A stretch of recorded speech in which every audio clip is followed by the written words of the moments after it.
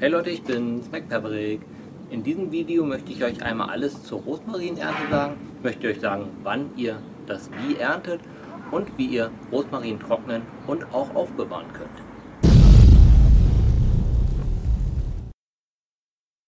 Ja, kommen wir einmal zum Erntezeitpunkt.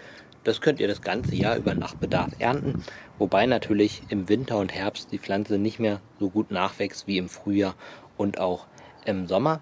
Ja, wie geht man jetzt vor bei der Ernte? Ähm, das ist ähnlich wie beim Lavendel. Der treibt aus dem Altholz nicht mehr aus. Deshalb, ihr dürft den nicht falsch schneiden.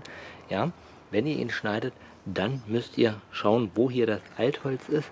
Und da müsst ihr ungefähr einen Zentimeter von wegbleiben und dann entsprechend schneiden, damit der wieder austreibt. Ja, das Altholz ist hier noch nicht so extrem vorhanden bei dieser kleinen Pflanze, aber hier hier ist so das Altholz. Ja, ich dürfte jetzt nicht den ganzen Stängel hier zurückschneiden, sondern immer noch ein bisschen was Grünes dran lassen, ja, und dann abschneiden, ja, im Prinzip nur die weichen, flexiblen Äste abschneiden, damit das Ganze auch nachwachsen kann wieder, ja. Und dann schneidet man das einfach ab und lässt so ein bisschen stehen nach Bedarf. Und ja, wie geht man vor? Äh, wenn mir das jetzt reichen würde, dann würde ich natürlich jetzt nicht mehr abschneiden, sondern erstmal mehr an der Pflanze belassen. Beim nächsten Mal würde ich dann sagen, naja gut, wo sieht es denn optisch am schönsten aus, wenn ich was abschneide? Das wäre dann hier auch wieder kurz vorm Altholz. Ja, ihr könnt das hier sehen. Hier lasse ich immer noch so ein bisschen was stehen. Ja, hier ist eben das Altholz und hier ist noch das jüngere Holz, aus dem die Pflanze eben auch wieder austreiben kann. Ja, wenn man jetzt Rosmarin nicht so regelmäßig ernten muss, ja, weil man selten einen Bedarf hat, dann muss man so, ja, so eine Art Pflegeschnitt machen, damit die Pflanze nicht von unten her immer weiter verholzt. Das heißt, man muss also etwas mehr auf einmal ernten und dann geht ihr genau beim Schneiden so auch wieder vor und schneidet halt entsprechend ähm, ja, wieder ein Zentimeter über den Altholz ab.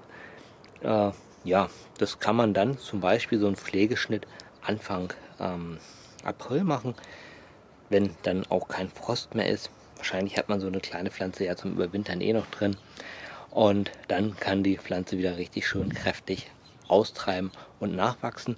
Und dann ja, kommen wir zum Thema Aufbewahrung, gerade wenn ihr so eine größere Menge an Rosmarin abgeschnitten habt.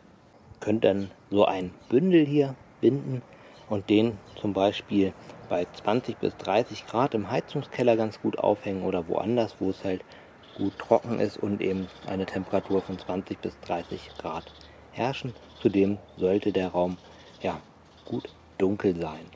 Aufbewahren könnt ihr Rosmarinzweige zwei bis drei Tage im Kühlschrank. Langfristiger könnt ihr die aber auch einfrieren und dann äh, entsprechend nach Bedarf wieder auftauen.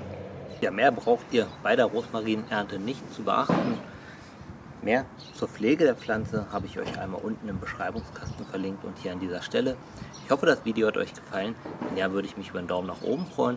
Wer möchte, kann mich gerne kostenfrei abonnieren. Dann seht ihr auch weitere Videos von mir. Ich sage bis dann, euer MacPaverick.